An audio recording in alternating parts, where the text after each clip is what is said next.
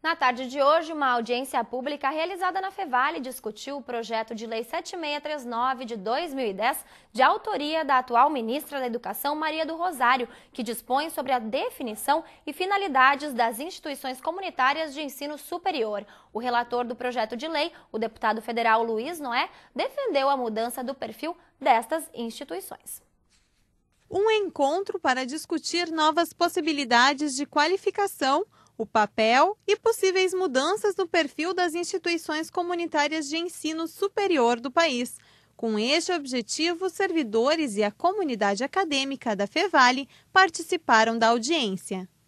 Hoje, no Rio Grande do Sul, 75% do sistema das universidades são consideradas comunitárias, assim como em Santa Catarina. Desta maneira, tem um reflexo grande para a educação.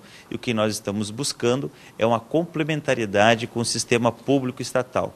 O reconhecimento da universidade comunitária como não estatal permite, principalmente na pesquisa e na extensão, ela ter condições de igualdade de acesso a verbas públicas e também, por outro lado, a possibilidade da criação de alguns cursos que o governo federal veja como prioridade ou a comunidade veja como necessidade para o desenvolvimento regional.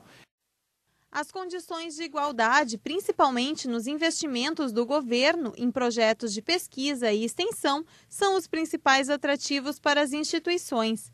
Por não ser uma proposta de estatal, e sim de instituição pública, mantendo a autonomia absoluta da universidade nas decisões sobre ela mesma, o reitor da Fevale acredita que esta lei possa beneficiar a instituição e toda a comunidade.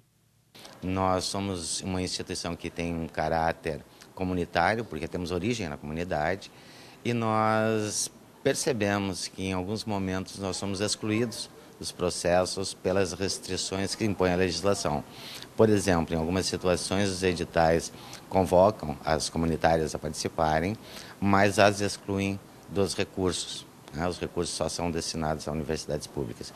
E isso é um, um, um processo que produz uma dificuldade muito grande em que nós possamos contribuir mais do que contribuímos. A lei deve ser apresentada aos senadores em outubro e votada até o final deste ano.